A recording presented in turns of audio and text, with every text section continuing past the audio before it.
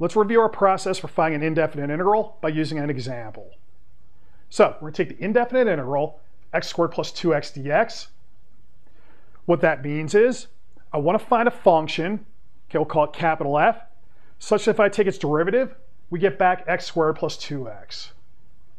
So the idea here is we're given a derivative. I want to find all functions that have that derivative. Now the procedure that we use, okay, if I have x to a power, we're just going to take the power, we're going to add 1, flip it over. So for the x squared, we're going to add 1, which gives me an x cubed, and then I divide by 3. For the 2x, okay, we take a look at x, which is x to the 1. We add 1, so it's going to give me x squared. Flip it over, we get x squared over 2. Then the 2's cancel, leaving me with x squared. Then we're going to have plus a constant of integration. So the idea here is this thing here we found is going to be an antiderivative of x squared plus 2x. So that means this function here, if we take its derivative, gives us x squared plus 2x. Thing is, if we add constants to that, we'll also get more antiderivatives, so we just tack on constant of integration to account for all those. Now, we're not done yet. We check our work. So if we take the derivative of this, we expect to get x squared plus 2x back. So derivative of x cubed is going to be 3x squared, cancels with the 1 third, leaving me with an x squared. Derivative of x squared is 2x. Then the derivative of a constant is going to be 0. So you'll note our check works out. We take the derivative here, we get back our integrand. Okay. Now, one reason to work out this example, there are things I'm doing here that are fast and loose, meaning we haven't showed them yet. So, one thing I've done without explaining, well, I've gone ahead and considered the indefinite integral of each term separately. So the idea is we're going to be allowed to take a sum, take its indefinite integral, and then we can just break the sum apart. So you work out your answer separately, then you put them back together at the end. Then, if we have numbers on the inside, so scalars, we're allowed to ignore them, meaning, okay, you work out your indefinite integral without the scalar and then put it back in when you're done. So these rules you use all the time with derivatives, okay, they're also going to hold for when we do antiderivatives and indefinite integrals. Now, let's check that these always work out. Okay, so the idea is going to be we're allowed to break apart sums in indefinite integrals, and we're allowed to pull out constants in indefinite integrals. Proofs of these just going to be symbol pushing.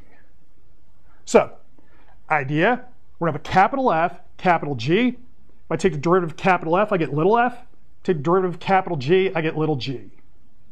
Okay, remember, if I say capital F prime is equal to f, that's the same as saying, okay, the indefinite integral of f with respect to x is equal to capital F plus a constant. So that's how we start. If I take these two indefinite integrals, add them together, okay, the first term is just capital F, second term is just capital G, and then we're going to put the constants of integration together as one constant. Now, another thing we can do, I could take capital F plus capital G, take the derivative. Now note, one of our derivative rules says, okay, if I want to take a derivative of a sum, take the derivative of each term, add them together when you're done. So that's going to be equal to f prime plus g prime. And note, f prime is equal to f, g prime is equal to g. So if I consider this thing as one term, that says the indefinite integral of f plus g is equal to capital F plus capital G, and then plus constant of integration. So now we have capital F plus capital G is equal to okay, indefinite integral of both terms on the inside, but that's also equal to what we get when we break it apart. So that's our first rule. For the second rule, okay, we'll assume we have capital F prime is equal to little f. So what's going to happen here? If I take our constant times capital F, take the derivative, well, our rule for derivative says, okay, you can put the constant on the outside, take your derivative, and then bring the constant back in for the final answer. So we're going to have our constant times capital F prime. Capital F prime is just going to be equal to little f, and now we just rewrite this.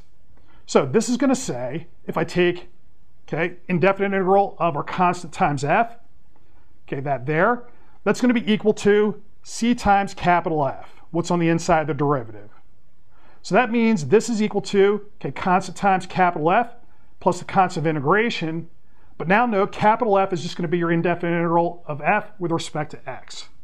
So all we've done here is move the constant from the inside to the outside. So our two rules are going to hold no matter what your f and g, assuming everything makes sense. Now, we take our two rules, take our rule from before, so that was just indefinite integral of x to the n with respect to x. Okay, that gives you your add one, flip it over rule, as long as your n is not equal to minus one. Start building a list of functions we could take the indefinite integral of.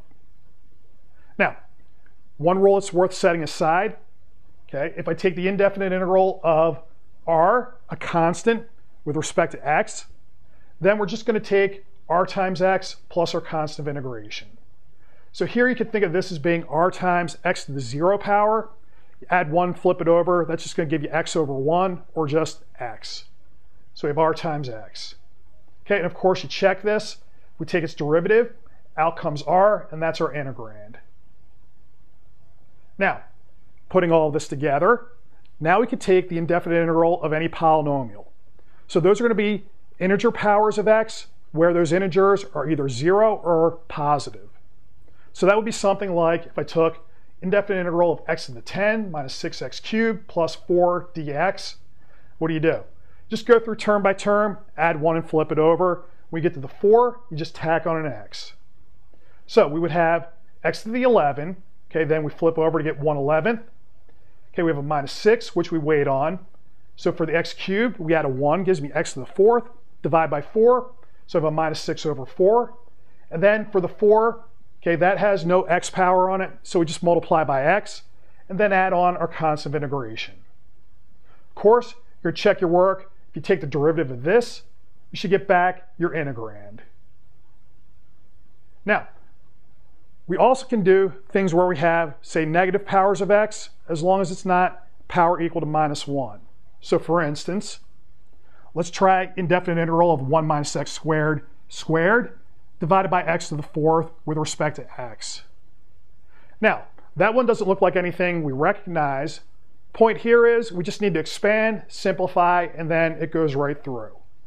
So for instance, if we expand the numerator, I get 1 minus 2x squared plus x to the fourth. We're dividing by x to the fourth, so I can divide that into each term. That'll give me x to the minus 4, minus 2x to the minus 2, plus 1. And now each of these, we just use the add 1, flip it over rule. So we're going to get, here I'll get x to the minus 3. Okay, so I add 1. When I flip it over, that's going to be 1 over minus 3. Here, I have x to the minus 2, so I add 1, I get a minus 1. We flip that over, we'll have a minus 2 over a minus 1. And then for the 1, we're just going to turn that into an x by our special rule. Then we put on the constant of integration. Now, if you know it, you check your work, okay, you take the derivative. What comes out is just going to be this step here. So you really want to check this against your original integrand, okay, because if you made any mistakes along the way, okay, they're not going to get caught by checking here. So another way to check your answer when your expressions are complicated, you just check at specific points. So for instance, how about if I check this against this by checking at the points x equals 1, x equals 2. So for the integrand, if I put in 1 and 2, I'll get 0 and 9 over 16. If I put 1 and 2 into our final expression here, you'll note you're going to get 0 and 9 over 16. Okay, so you work that out. Now the idea here is that's not as good a check but if you're in an exam situation and you have not much time left, it's better than nothing.